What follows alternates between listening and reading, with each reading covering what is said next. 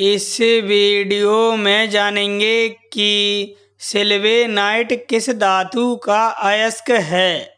इसका सही जवाब है सोना। सिल्वेनाइट सोना धातु का अयस्क है।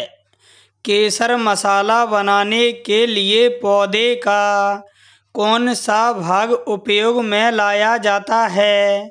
सही जवाब जानने के लिए वीडियो के डिस्क्रिप्शन में दी हुई लिंक पर क्लिक करें।